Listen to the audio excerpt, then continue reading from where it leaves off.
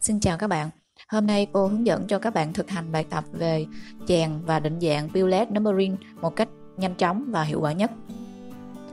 Đây là bài tập mẫu, mình sẽ thực hành theo đúng bài tập mẫu này và có một file văn bản thô đã nhập dữ liệu sẵn và mình chỉ cần định dạng cái numbering và bullet theo yêu cầu bài tập.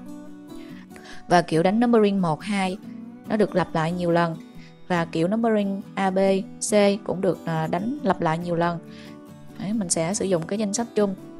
Mình sẽ đặt trỏ chuột trên cái dòng cần à, định dạng numbering sau đó vào home paragraph và chọn vào numbering. Chọn cái kiểu là 1, 2, 3 la mã. Tiếp theo là các bạn vào numbering và vào à, change chain list value bạn thấy ở đây là cấp độ value số 1 là một la mã. Đây là value 2 là A nhỏ.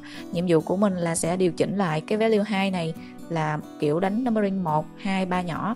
Và cái level 3 này mình sẽ điều chỉnh lại là kiểu ABC bây giờ mình sẽ cho cái trỏ chuột này về cuối trang bằng cách là mình nhấn phím N và sau đó mình nhấn phím Delete và mình Enter xuống. Như vậy thì à, phím à, Enter đó nó sẽ copy cái numbering xuống dòng thứ hai luôn cho nên mình à, sẽ nhấn phím Tab để đẩy cái à, cái cấp độ list value về à, cái level số, số 2 như hồi nãy mình đã thấy theo mặc định là cái value của thứ hai cái list này là AB cho nên mình phải chọn lại AB thành là 12 Đấy, bằng cách là bạn vào home paragraph chọn numbering chọn vào define new. Trong define new này mình sẽ có là AB này mình sẽ sửa lại cái chỗ này 12 nhỏ và cái dấu chấm này mình sẽ mở ngoặc. Click bạn à, sẽ chọn vào ok. Đấy, tương tự như vậy thì ở cái à, dòng đầu tiên này mình sẽ vào cái à, home home paragraph numbering. Đấy mình sẽ chọn vào define new. Ở một hai ba la mã này mình sẽ chọn là canh trái canh giữa hay canh phải thì tùy theo ý của mình. Nhưng mà ở đây cái dấu uh, chấm ở phía sau một la mã mình sẽ chọn là thành dấu sẹt à, một cái dấu sẹt đứng. Và tiếp theo mình cũng nhấn phím delete để đẩy dòng số 3 lên và enter xuống như vậy thì mình có được cái à, ba uh, dòng đầu tiên. À, tương tự như vậy thì mình cũng đưa trỏ chuột về uh, cuối dòng bằng phím end sau đó mình nhấn phím delete. Rồi mình enter. Như vậy thì bạn sẽ thấy rằng à, đang ở mức à, cái danh sách của mình đang ở cái level số 2 cho nên mình muốn đẩy nó về cái level số 1 để đánh một la mã hai la mã thì mình sẽ sử dụng phím shift tab. Shift tab để đẩy value bên trong ra một cấp value. Ở đây là value 1 là một la mã hai la mã. Như vậy thì tương tự như vậy mình sẽ sử dụng phím end để cho nó về cuối dòng nhấn phím delete để đẩy dòng dưới lên và phím enter. Đấy. và sau đó mình sẽ sử dụng phím tab để đẩy nó vào trong một cái level bên trong. Như vậy là à, đây là cái level 2 ừ, các bạn thực hành tương tự như vậy. Ừ, và mình có được là um, dòng tiếp theo và cũng làm tương tự như vậy đến cái ba la mã mình sẽ đẩy ship tab đẩy ra ngoài để được ba la mã. Ở đây là lý thuyết này, nó đã nằm ở trong cái level số 2 cho nên mình sẽ đẩy vào trong bằng phím tab. Và mình thực hành tương tự như vậy đến ờ, đến hết cái bài văn bản của mình ở đây khái niệm này thuộc là cái mức level số 3 cho nên mình sẽ đẩy vào trong một tab. Nhưng mà ở đây là cái mức ờ, level số 3 của mình là chữ Y cho nên mình sẽ vào home Bar Wrap chọn vào numbering chọn vào define new và bạn chọn chữ Y thành ABC nhỏ. Rồi các bạn click OK. Đấy à, mình cũng tương tự như vậy cho nó về cuối dòng bằng phím N rồi delete đẩy dòng dưới lên và phím Enter. Và mình sẽ đẩy ra ngoài đang ở à, hiện tại bây giờ cái list của mình đang ở level số 3 mình sẽ nhấn phím shift tab để đẩy ra bên ngoài để cho nó về cái level số 2 à, và tương tự như vậy à, phím N và phím delete đẩy dòng dưới lên và enter.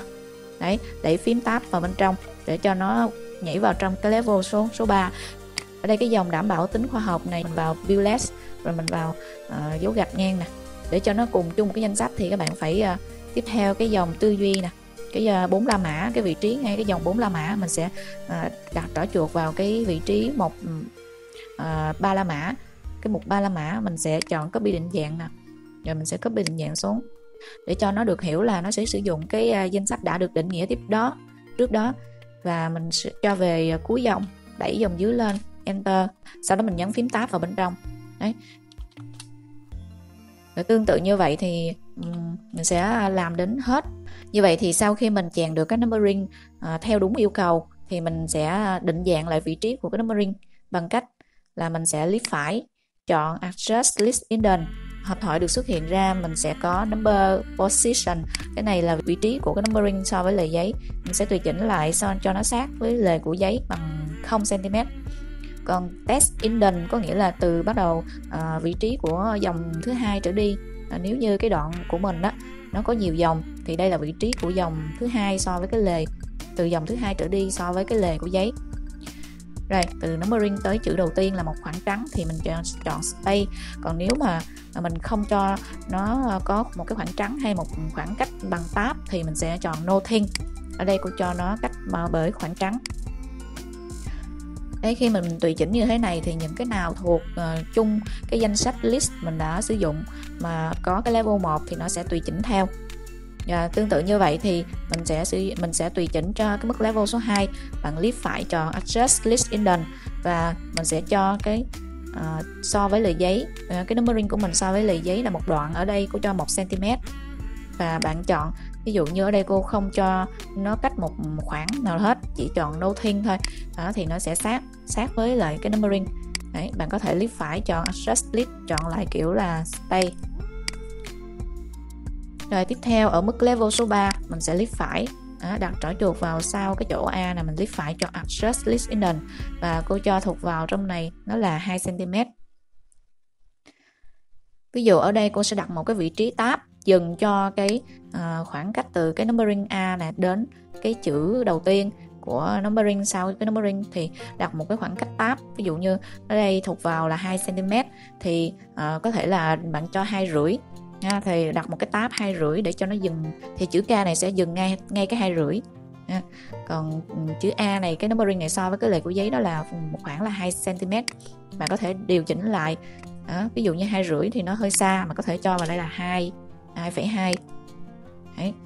như vậy thì à, những cái nào thuộc mức level số 3 nó sẽ tùy chỉnh hết cho các bạn. À, tương tự như vậy cái build cũng vậy bạn click phải chọn adjust list indent và ở đây mình sẽ cho nó thuộc vào sâu hơn so với là A đi. Mình có thể cho chỗ này là 2.2 về cơ bản thì bài này đã được hoàn thành. Nhưng mà các bạn cần phải lưu ý thêm vào vào home paragraph ở trong cái numbering này nó sẽ còn có kiểu đánh đánh số lại từ đầu dành cho những cái danh sách mà à, đánh không liên tiếp với nhau. Ví dụ như cô có là một cái đoạn văn bản mà à, cô chỉ có một cái đoạn khoảng vài dòng như thế này thôi và cô sẽ đánh theo yêu cầu uh, bằng cách là chọn kiểu đánh đơn giản mà không thuộc một cái list nào hết. Đấy cô chọn là cái này là chọn số cái dòng số 2 mình sẽ chọn một hai nhỏ nè. À, cái mình cũng sử dụng copy định dạng một hai nhỏ này tiếp theo copy định dạng tiếp theo luôn. Nếu như mà các bạn cho nó tiếp nó nối tiếp nhau nó cùng một cái uh, danh sách numbering á. Thì khi mình tùy chỉnh thuộc đầu dòng á thì nó sẽ nó sẽ được uh, tùy chỉnh theo một đồng loạt uh, đánh lại cái numbering bằng cách vào home set numbering value mình chọn lại số 1 chọn lại số 1 để mình tách nó ra làm hai cái danh sách uh, numbering khác nhau. À, lúc này khi mình đã tách ra rồi uh, mình đã đánh đánh lại uh, số bắt đầu từ một rồi thì hai cái list này nó hai cái list numbering này nó sẽ khác nhau. Và khi mình tùy chỉnh một trong hai cái list này nó sẽ không ảnh hưởng tới list còn lại đấy rồi. Một lưu ý nữa đó là uh, nằm trong bảng. Như vậy thì ở đây mình cũng sẽ chọn vào trong một la mã. Khi mà mình đẩy vào trong một cấp á, mình không sử dụng phím tab. Mình sẽ không sử dụng phím tab mà mình sử dụng cái nút lệnh này đây. Ha, increase indent đẩy ra bằng cái nút lệnh. Các bạn không sử dụng phím tab và shift tab. Thì trong bảng thì khi mà bạn nhấn phím tab thì nó sẽ đẩy ô tiếp theo còn shift tab nó sẽ đẩy về ô phía trước đó. Cho nên là khi mà à, sử dụng là à, đánh numbering á mình sẽ uh, sử dụng hai cái nút lệnh này. Rồi như vậy thì bài uh, định dạng về numbering và billet đến đây là kết thúc. Uh, xin chào các bạn chúc các bạn thành công.